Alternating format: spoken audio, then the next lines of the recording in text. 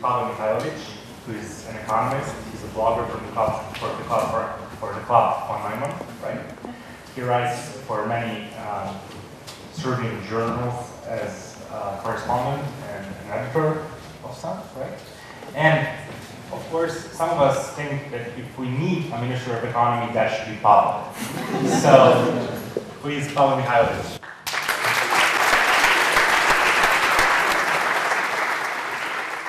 Uh, thank you. Uh, do you hear me? Am I loud enough? Is it, is it okay? Okay, perfect. Uh, thank you very much for the introduction. My name is Pavle Mihajlović, as you heard. Uh, I'm blog author at Club von Neumann, if you want to say it properly. and uh, also, I'm a master student in Faculty of Economics uh, here in Belgrade. Here, I am as a person who is uh, in many ways affiliated with Libertarian Club, and I want to congratulate them for a really, really good organized, perfectly organized conference, and it is a great privilege and honor to speak here today um, especially about this topic that I find very, very interesting and important, and that I wrote about a lot. So this is um, also some kind of uh, gratitude for, for my friends for everything we've done together. Right now, I want to come to the topic of my today's lecture. Uh, the topic is um, about economics, especially about economics of uh, public pension system. So the title is Unsustainable Pension because we talk about sustainability of public pension systems. And in the lecture, we'll see there is none. And also, I will talk about morality of public pension system. It's basically a story of economics and morality of public pension system. But uh, when I talk about morality, I will talk about some important features that you might not previously have thought of that might help you in any discussion that is related to ideology so this is not a libertarian lecture. It's not even free market lecture. It's economics lecture. And that's what I want to make it uh, in, in front. And that's what I want you to think about. What I do here, you can find in the paper that I wrote for this conference also. It will be uh, published in three hours on my blog. And you can find it there. You can download it freely. Uh, it's with the same title. And all the things I do here if you leave here and you don't have uh, time to ask me a question, you can find, find there in great detail. If you need more, always contact me.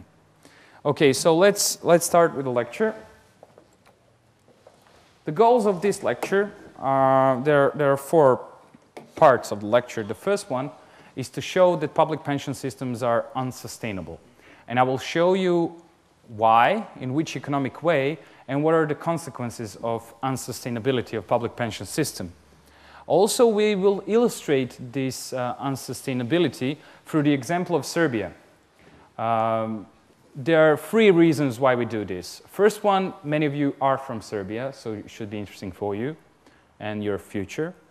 Uh, the second reason is that Serbia is a really, really good uh, illustration of the situation in which every single pension system will be in next 10, 15, 20 years. And third, the level of unsustainability in Serbia is so high, so huge, that it really, really good depicts the economic problem of public pension system. Then afterwards, uh, we will talk about those morality issues from the economic uh, point of view, some economic arguments that you can use in future. And also at the end, we will talk about uh, privatization possible privatization and the important features of possible reform of public pension system, what you should consider and think about when you think about it. Okay, so first, public pension system.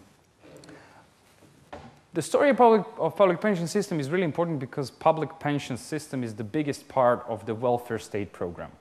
It's the biggest government program in majority of countries.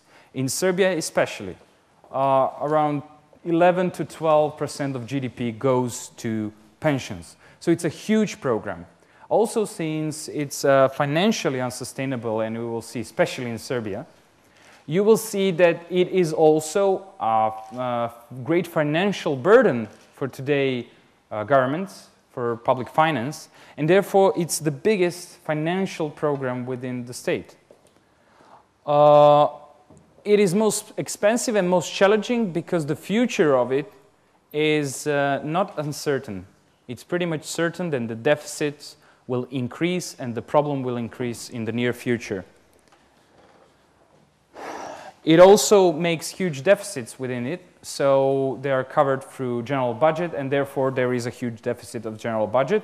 In majority of countries, and in Serbia, until this year, in Serbia and in other countries uh, even now, the deficit of public pension system is greater than the deficit of the general public budget. So deficit of public pension system in Serbia is 6% of GDP. And that's really, really, really huge number. And has to be calculated when you think about the problems of indebtedness of Serbia and the problems of future growth of public debt. The main driver of that debt is public pension system. How does public pension system work? Well, almost all public pension systems are organized on the basis of pay-as-you-go system. It's uh, pay-as-you-go because it's currently financed. You pay your pensions, your benefits to the retirees through the current contributions of people who are working and contributing small increment of their money. It's not that small, but that's the basic idea. Um, secondly, uh, today's contributions um, should cover current expenses in public pension system based on a pay-as-you-go. So you basically take the money from workers today, you pay pensioners today, and also to have a, a long-term sustainability of public pension system, you should also have some excess funds to put it aside on savings and then invest it, and from those invest in, investment in the future, gain benefits and profits, and to finance increasing benefits in the future. That's the basic principle of pay-as-you-go system in theory. How should we work in theory? It's not how it works in real world, but we will see that later. So basic idea is that you have a number of workers and you have pensioners. And all those workers contribute a small increment of their income. Let's say you have 100 euros a month, and you give 10, 10 euros a month for pension system. Those pensions are, those contributions are gathered in public pension fund and dispersed to pensioners as a monthly allowances of pensions. Idea is small increments of money give a, uh, uh, give a big substitution for previous earnings for pensioners. So the basic idea is that you go to pension, you do not earn any more your wage, but you have substantial substitution for your previous earnings the level of that substitution is called substitution rate, will be important later to explain it. But the point is that with small increments of contribution of people, you get substantial substitution of your earnings. But how does it really work? Something like this. That's the basic principle how today's and tomorrow's pension system function. So you have a really, really small amount of workers who have to contribute really, really much to get almost modest pensions in today's system. Illustration of Serbian example, we show how small are today's pensions and how huge are contributions and expenses for that system. And the basic reason why it is like that is because it's currently financed. You have noticed that I, I've erased the number of workers here in the picture. And that's why, because today number of workers is uh, decreasing relative to the number of pensioners. So the basic idea of pay-as-you-go system doesn't function anymore because contributions that go to public pension fund are dispersed in the pensions.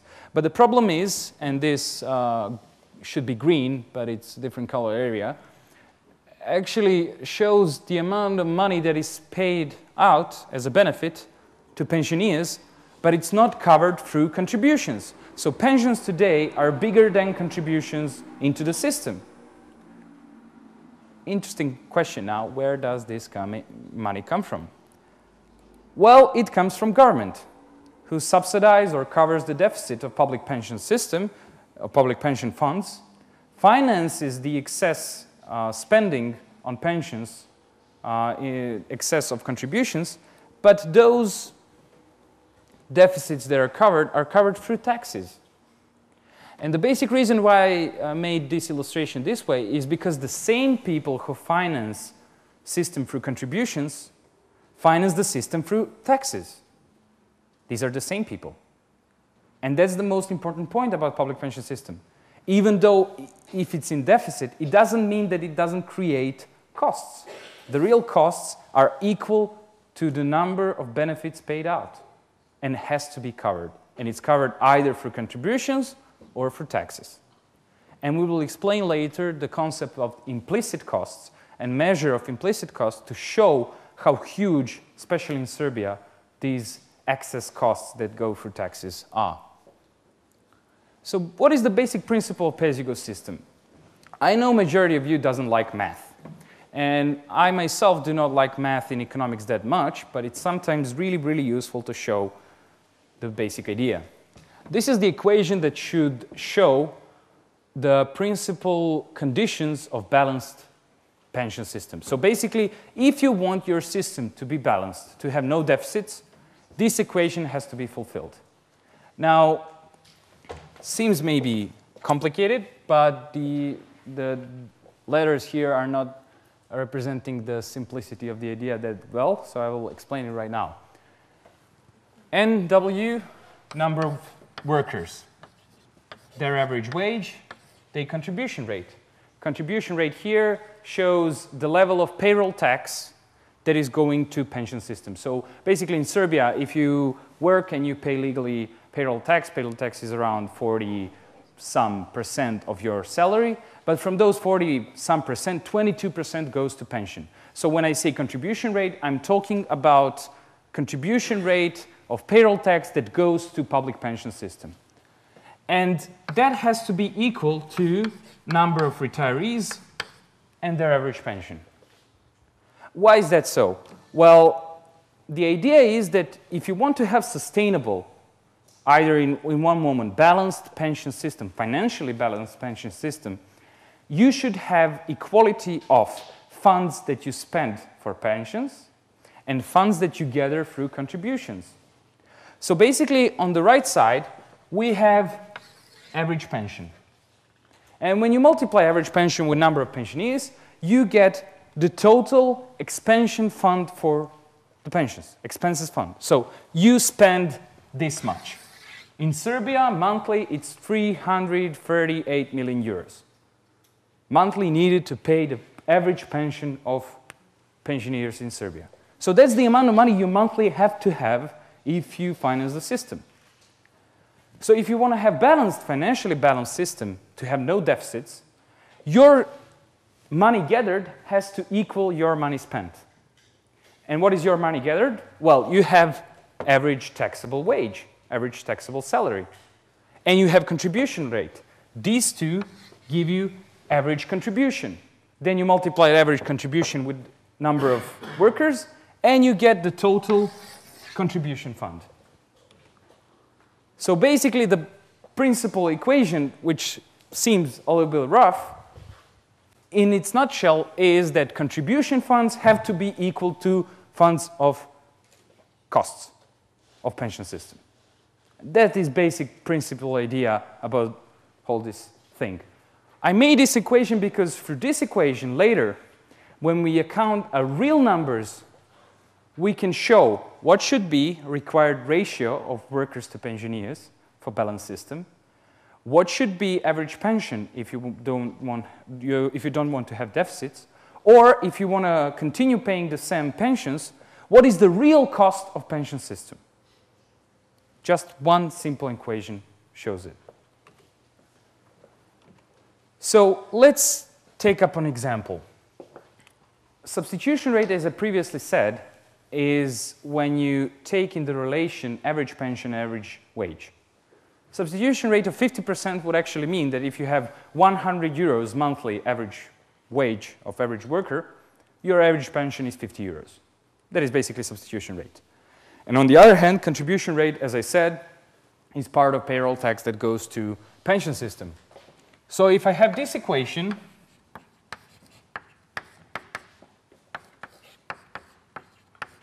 and I will say, okay, I have contribution rate, and I have substitution rate. Now, let's see what should be the ratio of workers to pensioners for this particular situation to be balanced. Just take hypothetical situation of 50% substitution rate and 20% contribution. Why do I use these numbers? Because usual pension system within the welfare states of Europe have substitution rates that are a little bit above 50%. 50, 60, if you account for, for the taxes you pay through pension system for the healthcare, it decreases to 60%. And this cost of 20% um, contribution rate is basically a little bit above than the average of contribution rates in Europe. It's around 10 to 15%, sometimes 16, 17. So this is defensive strategy for us. We are taking the assumptions that are pretty much in favor of defenders of public pension system. And even with those assumptions, we can show following. You take this here, and you have the basic reason why I'm writing this because you get a pretty simple uh, solution when you put this into the meaning of those two funds. So this here, as explained previously, is just the other way of saying substitution rate. Why? Average pension related to the average wage. So this is substitution rate. And this is contribution rate. So your required ratio of workers to pensioners should be should be substitution rate over contribution rate. In our situation, it's 0.5 over 0.2, you get 2.5. Not very complicated. So basically, if you want to have balanced system, your ratio of workers to pensioners should be substitution rate divided by contribution rate. And in this situation, defensive assumption situation is 2.5. The only problem about this, not a single European country would fulfill these requirements. Not a single European country has actually 2.5 workers per one pensioner. I read one research that it said that in 2025, in Germany, there will be more people older than 65 than people younger than 65. With average employment rates in Germany, that means that this number is not going to be 2.5, it's going to be 0.6, 0.7. So you will have two times more pensioners than workers. And the idea is to have small contribution to finance substantial substitution. If you have too many, if you have two times more workers, how can you finance that currently financed system? No way.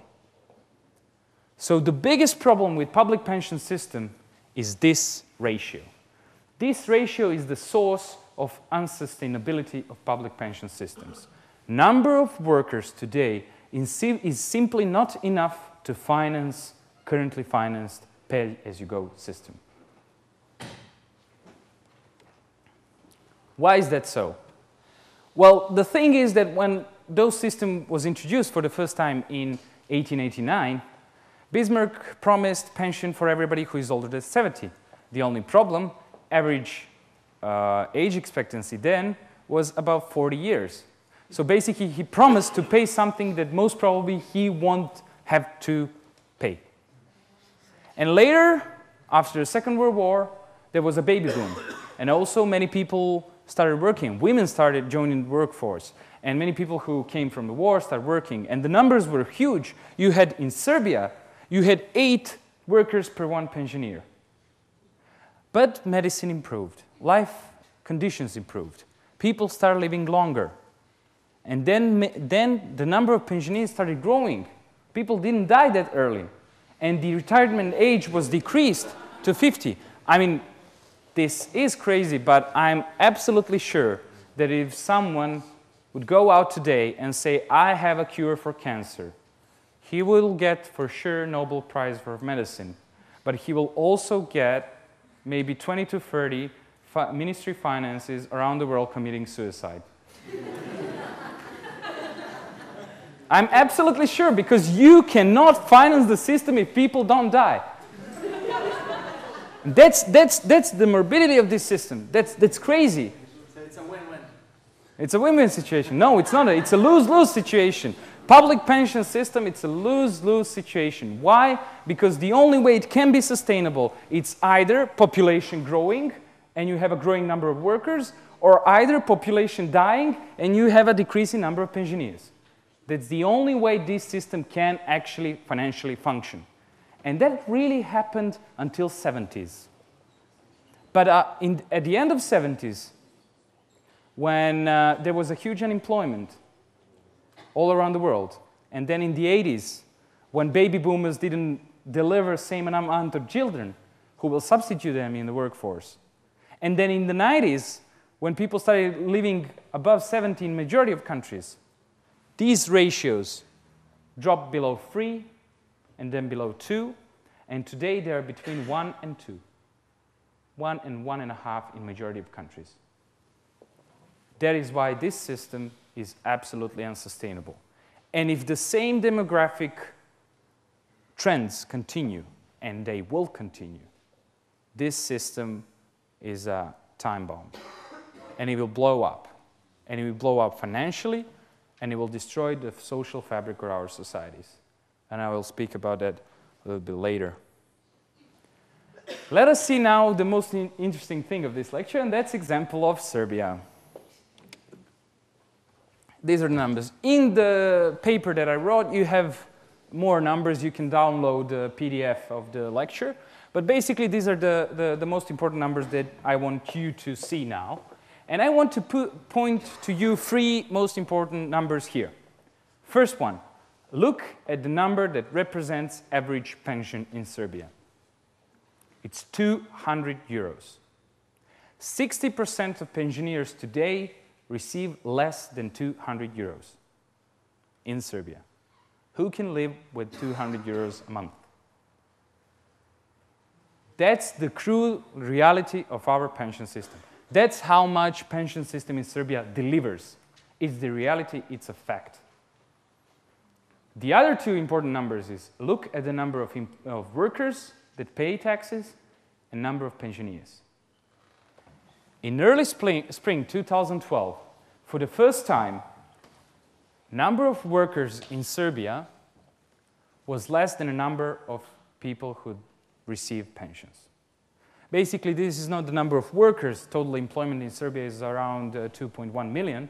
But the point is that legal employment is 1.725 million people. And from those 7.25 million people, 50,000 do not pay contributions because they work for government firms that are in restructuring or that are in uh, financial blockade. So basically, you have only 1.675 wor- uh, million workers that pay every month contributions. And you have 1.69 million pensioners. So there is a smaller number of people who contribute and who have 440 euros on average to pay 200 euros average pension. How can that be sustainable?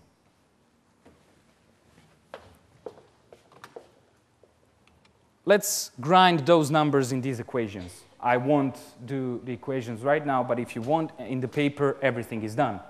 So you can read it. First and most important thing Monthly contributions cover only 46% of monthly needs for pensions. So less than a half of the system is financed through contributions. That's how big deficit is. If you have 12% of GDP or 11% of GDP going to pensions and half of it is deficit, deficit of pension system is 5, 6% of GDP. It's 2 billion euros every year. So that's the real sustainability of system. Less than 50% is financed through the system. Ratioed workers, and we've seen this example. For this example is 2.5. Ratio in Serbia is 0.97.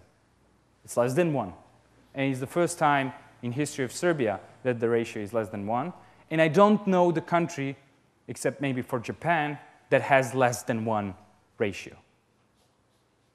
So this is of one of the worst case scenarios in world today and really important lesson for everybody outside of Serbia because they will know where they will come in next 15 to 20 years. These ratios will drop to these ratios really, really soon.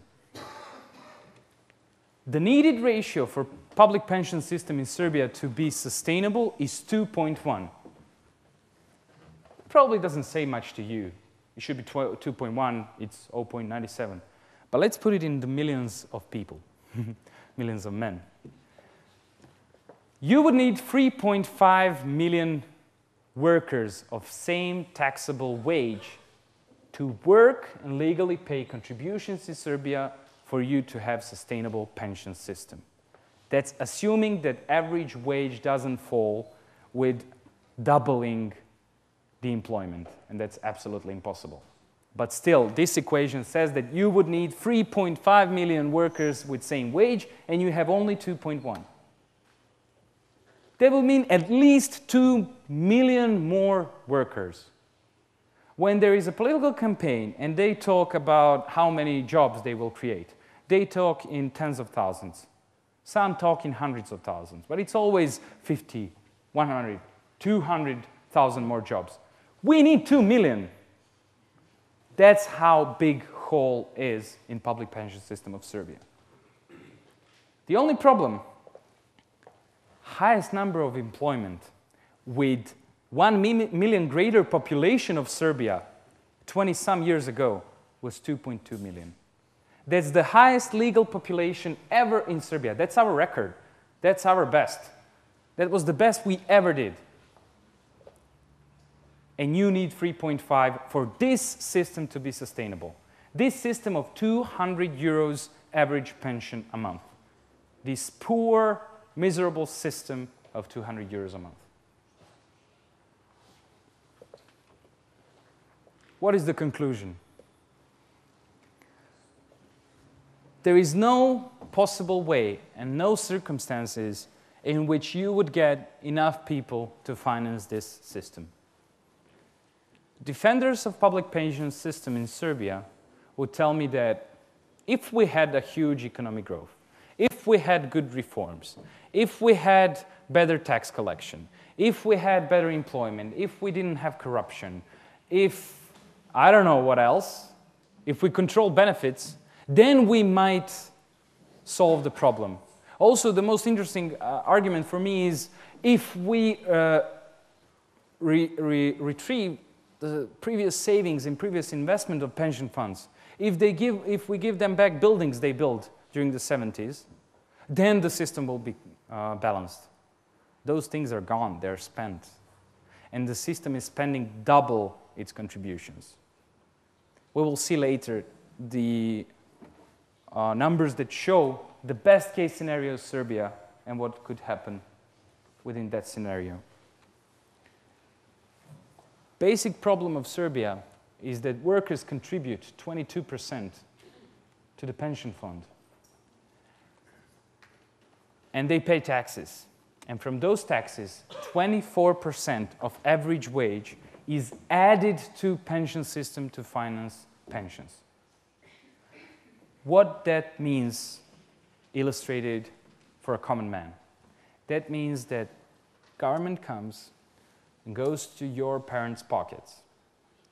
And it takes 22% of their wage, 22% of things they earn a month, and gives there to your grandparents. And then it goes to pocket of everyone else, also your parents, and take 24% of their average wage more and give to your grandparents. And then your parents had to take some money from their pocket additional and give to your grandparents because average pension is only 200 euros and nobody can live with it. That's the crude reality of public pension system in Serbia. It basically means that implicit costs, the real cost of public pension system in Serbia, is 46% of average wage.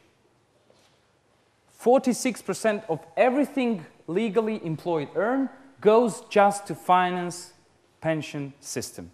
22% goes through contributions, 24% goes through taxes. So this contribution rate in Serbia, 22% of payroll tax for pensions, is meaningless if even more than that has to be financed through taxes. That is how huge are the costs of public pension system. So the benefits is 200 euros average a month. Costs is 46% of average wage a month. Those are the real costs and real benefits of public pension system in Serbia. And still, deficit is huge, 2 billion euros every year. If you want to have balanced budget with 22% contributions, your average pension in Serbia should be 96 euros. That's how much really current system can finance. 96 euros. Just imagine how would it be to live with 96 euros a month. That's the strength of our public pension system. So let's look at the best case scenario. Let's pretend we'll have 5% growth next year and next 10 years.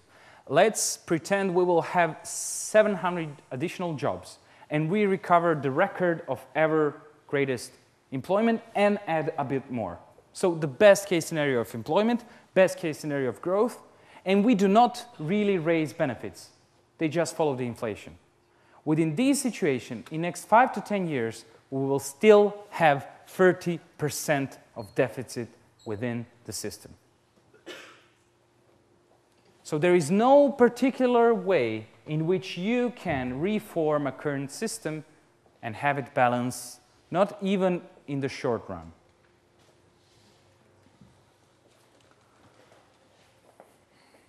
Now, we finished the example of Serbia, and we will see what parametric reform means. Parametric reform is actually trying to change some of the parameters of this equation, trying to balance the system. So basically, there are three things you can do within uh, parametric reform. And yes, I have to mention, every single country during this crisis tried a parametric reform. And from their efforts, we can see how difficult it is, how unsustainable it is, and how the results are actually not important for our story. They're so small, they're so insignificant, they do not even closely solve the problem of imbalances of expenses and costs within the public pension system. The three things you can do you can postpone the retirement, you can prolong retirement age. That's what some countries did, that's what Germany did. They tried to postpone the retirement of working people. The only problem with postponing retirement, you do not solve the current problem.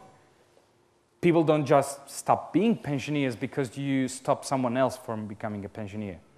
Real costs today are the same. So you didn't solve the problem. You just postponed the problem for the future, and you maybe decreased the future costs in two, three, five years. But you didn't solve problem today, and deficits today are huge. Second thing you can do you can increase taxes. But the only problem is that if you increase taxes and you decrease the deficit, your implicit cost stays the same. This is basic idea. In Serbia, for example, you have 46% of costs. This is now, this is future with raised taxes. So 22% is system, pension system, 24% is from taxes. You increase uh, taxes from 22 to 30, you just did this. You didn't solve the problem because still you have deficit that has to be covered through public revenues. So you maybe decrease other public revenues, but you increase public revenues from pensions. So basically you do not solve the solvency problem of public pension system. You just um, do a counter scheme where you transfer the costs on the paper from one fund to the other, but it also goes through a general government. So the only real solution left to balance the system is to significantly, significantly cut the benefits. You cut the pensions. And what we've seen in Serbia, if you want to balance the system, you have to go to 96 euros. If you want to increase the level of sustainability of public pension system, that means you have to go down with pensions, not freeze them. Majority of countries tried it. maybe only one or two su succeeded to decrease pensions. But basically what majority of countries did is just froze the pensions at one level. That actually means that you're, again, just limiting the current expenses. You're not decreasing the deficit. And that's the greatest problem of pension system. Parametric reform doesn't solve the problem if you do not change substantially parameters in the way unforeseeable in the history of democratic societies. The first problem of these parametric reforms is social and political issues.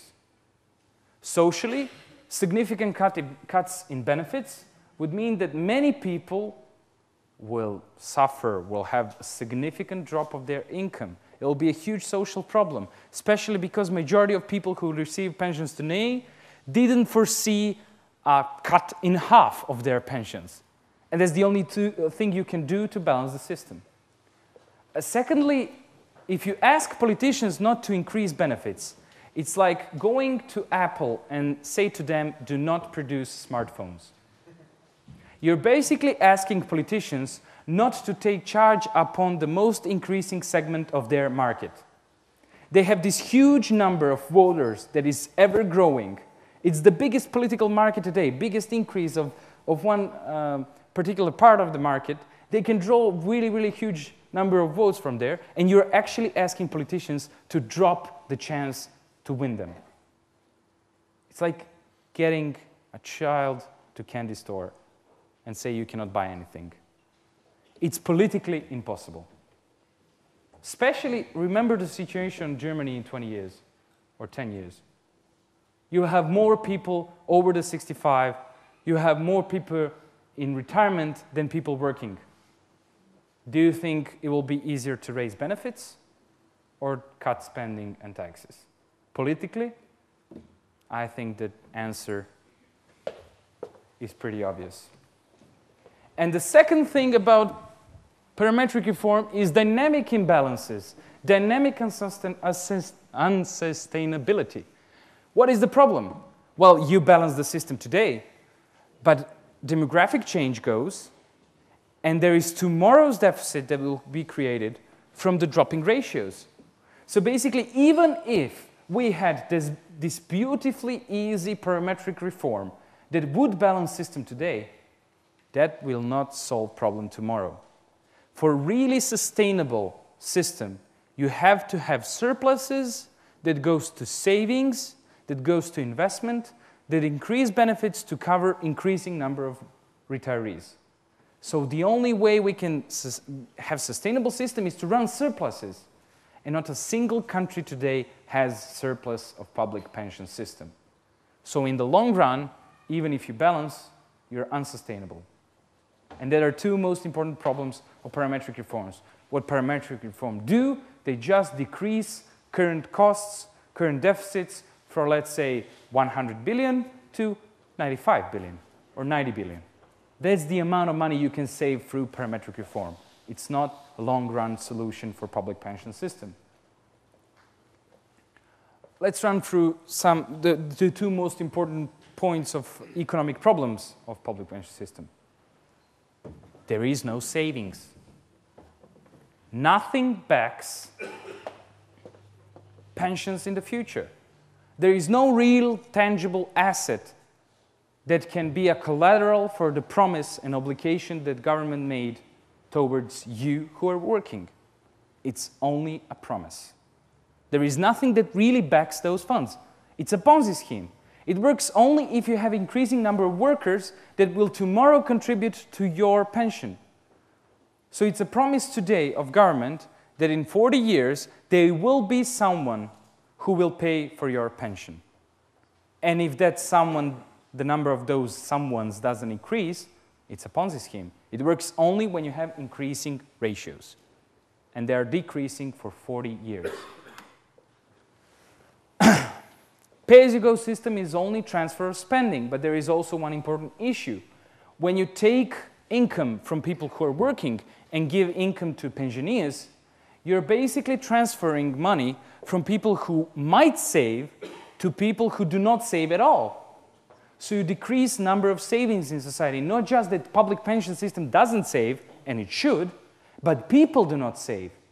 That's exactly what happens in the Western world. Today's savings rate, except from Germany and some other countries of the same culture, you do not have high saving rates. People do not save, people just spend.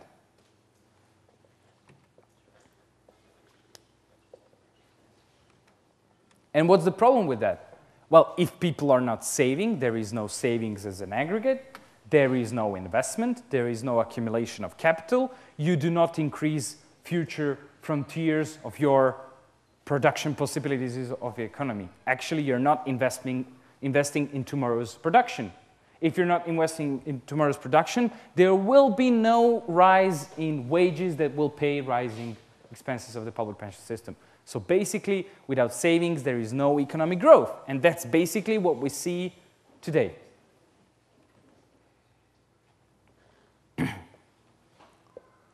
okay, the problem with public pension system, it's also fiscal. Increasing amounts of money that go to public pension system means that public spending is skyrocketing. In nominal numbers, it's huge rise in public spending. And also, since public spending today is, is in balance, and the biggest deficit that drives the rise in public spending is, pub, is public pension system, pension system actually drives the rise in indebtedness of every single Western nation today. And the public debt is rising pretty, pretty fast. Now we come to the third part of our lecture today, and let's talk about morality of pay-as-you-go system. I will not make here a libertarian point because I do not believe that this topic is, um, I do not believe that this topic can be uh, looked from different morals perspectives. It has to be addressed from everybody. Everybody has to focus on this question. You have to have wide support for any reform to happen within the pension system. And therefore, arguments should not be libertarian, socialist, social democrat, or any. It should be economic because we're talking about economic problem of unsustainability of one system, financial imbalance. And there are some important issues that are economic that can help you tomorrow develop arguments within your debates, within your working, maybe within uh, creating some policy proposal tomorrow. First problem, there is no property. The pension of tomorrow is only a promise. Your contributions today, once they leave your pocket, you do not own them. And since there is no property, there is no property rights. And having no property rights have, can have some serious circumstances. From those, I will mention two, which are really important. Imagine your parents, one of your parents goes to pension. Okay, no, it's morbid Imagine one guy. He just went to pension. He retired. He got his approval. He got his um, all the papers through bureaucracy. He got it. He's walking down the street. He wants to enter pension administration and to receive his, per, his first benefits. And he's walking down the road. He crosses the street. Car hits him. He dies. He loses everything doesn't own anything. There is no tangible asset that he really owns. What happens with his family? He contributed. In Serbia, 46% of net wage. So you contribute half of your wage just to finance the system. And what you basically get for that is nothing. The best case scenario is that a child, if it's not legally employed, can receive 70% of the pension for one year that his parent should have had. What's the real situation? You lose almost anything just because you died. I mean, it's horrible situation, and probably someone who dies doesn't think, oh, I will not receive pension. But still, it's economic issue. Because there is no property rights, this cannot be solved. And it's also unfair. You contribute for 40 years and you get nothing and someone else can contribute for 20, 30 years and get benefits for 20, 30 years just because he was lucky for, to cross the other street the same day. And the second thing, if you're seriously ill, not you, someone, If someone is really seriously ill and he needs money for medical treatment, heart transplant, if you have saved some tangible asset, you could recollect it, sell it, or recollect money and use it to finance your heart transplant. Without heart transplant, you will die, or that person will die. And if he dies, he doesn't receive any benefits. But he contributed. In public pension system, even though you have contributed, you didn't receive any ownership, so you cannot spend it. And you will, you will not be able, in these circumstances, retrieve something that you really contributed, and your loss is certain. And therefore, these are some situations in which lack on, of ownership on things can, re, can have really sus, uh, substantial circumstances, real substantial implications. Now, also, one economic issue here is lack of flexibility. You are actually obligated to contribute to public pension system. Even though if you say, I do not want for government to provide me with pension when I get older, you cannot say, I want to opt out.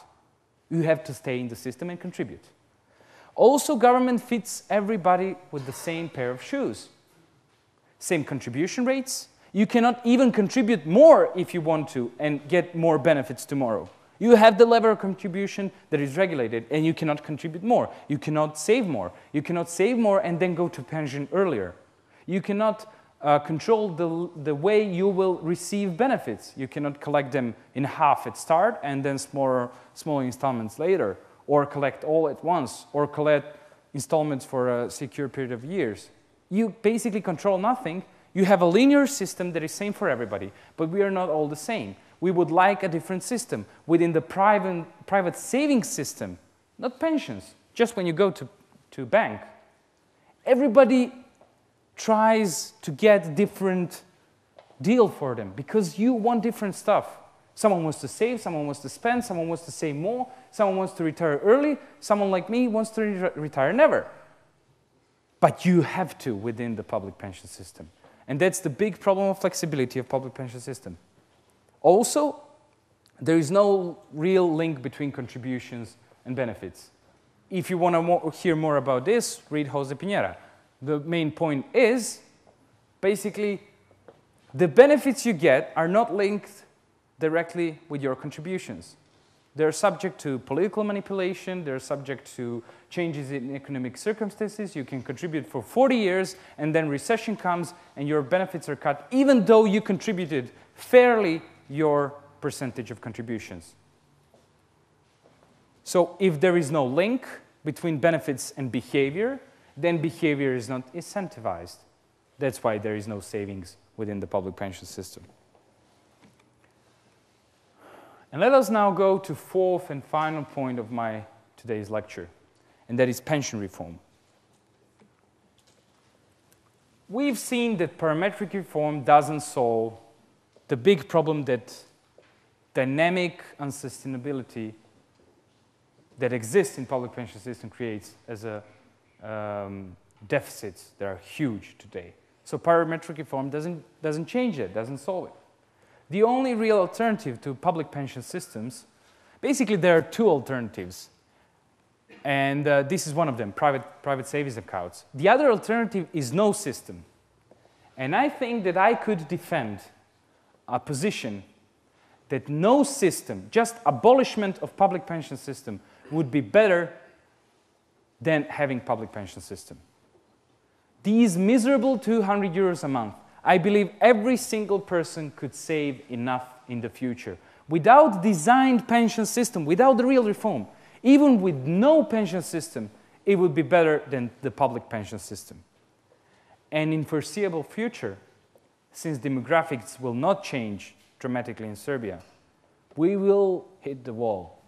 And when we hit the wall, if there is no political strength to start the reform, the result will be no system.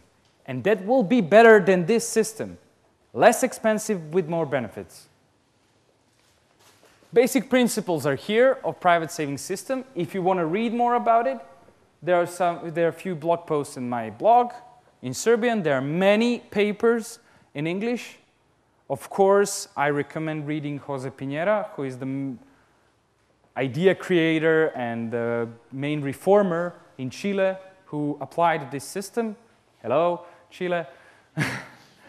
and uh, I strongly recommend looking at his videos at YouTube or reading his texts. Basically, everything is explained. So I won't go to private pension system. Others did it much better than me. But what I want to point out is what are the problems of privatization? Because we've seen, okay, I mean, the whole lecture can be summarized in five seconds. Public pensions are bad, savings accounts are alternative, reform is hard, and we should do it. Bye. so that, that's the basic point. So, okay, private pension system is better. The greatest problem is how you go there. And that means privatization, that means reform, and that means a huge cost. And what are these costs driven with? First, you have to finance current pensioners. You have to continue financing people who are currently retired. And if you take people to private pension system, you draw out their contributions. The gap widens. It gets bigger. In most harsh years of reform, transition costs that are meant by this go up to 4 to 5% of GDP. And you have to find a way to finance it. This would mean a great drawbacks in public finances, in other expenditures. Second problem, how do you compensate people who contributed previously? Because someone worked for 20 years, he paid contribution, he wants to go to private system, but for next 20 years, he cannot collect enough to go to decent pension. And still, he contributed something, and if you want to introduce property rights in pension, you have to compensate for it. So that's the second really important question. And the third one is how do you organize a new institutional framework within which you have efficiently functional capital markets, and new pension institutions? These are three most important questions that have to be answered within the any framework of pension reform in Serbia and every other country today. These costs are huge. Total cost of pension privatization probably goes to 150 or 200 percent of GDP of every single country. In Serbia, I calculated previously, we would need 55 to 60 billion euros for the whole transition for 10 years to spend on pension reform. It would be a biggest reform project ever in Serbia. So that's how big this problem is. But sustainability of public pension system, not public pension system, but any pension system, is measured by the level of its private share. So if 80% of system is private, it's 80% sustainable. The other part is just expenses, it's public expenses. So what you need today is reform that will substantially increase the share of private system within a pension system for it to be at least a bit more sustainable or financially sustainable on its own. The longer we wait, the harder it gets because ratios drop and contributions drop and benefits rise. Remember the political issue. So basically, the earlier we start the reform, the earlier it will get better. And we will have to do it. So it's not the issue of political party, of the ideology. It's tangible economic cost that has to be resolved somehow. There is no free lunch. There is no free pension. So reform is also almost impossible during a recession, and we are currently in recession. So we might wait three to five years to start the reform. But this is the perfect moment to start preparing for the reform. And any good reform framework, I think, should have next five points in its strategy. First one is parametric pre-reform. So you start from today, you prolong working age, at least to level the life expectancy. You also uh, decrease benefits or freeze them, control their rise, control their, their level. And of course, increase tax collection, have some changes within the taxes, make it more easier to pay, and then more people pay, and those kind of things. Have more, more substantial tax collection within the gray economy. Those hard things have to be done. Second thing, I think that this reform cannot be financed only solely through current taxes. And I suggest, this is a special case for Serbia, of course, that we impose 10% flat rate tax on income for everybody to contribute for this social reform. So we are saving the future of a country. Everybody has to participate in either way, because if we don't, the system will collapse. Social fabric of our society will disperse. And we will have not just unsustainable pension system, we will have unsustainable democracy, unsustainable public finance, unsustainable defense, unsustainable society. Then also we should have a system of government bonds. System of government bonds that, uh, that uh, is used to compensate previous contributors. So you give them government bonds, they're invested in um, private systems. Difference between this and giving contributions to public pension system is that you get the ownership. You get the collection of taxes in the future without public pension system. And from those collections, your private property will be financed. And you're actually giving back some, some money as if was contribution, but you get the property. And also government bonds could be issued to spur a capital market. It, it was uh, basically the biggest part of um, development of capital markets in Eastern Europe, who did not have capital markets because you didn't have any private capital during socialism. So basically the way the private markets were developed is the introduction of government bonds. And that, is also, that also should be included in the strategy. And then the most important point, the level of privatization you think you should have within the system. And I don't mean you should have in the level of what's your ideology that the level should be. But what is the, what is the politically sustainable level of privatization you can finance and politically support with wide-scale support for one system.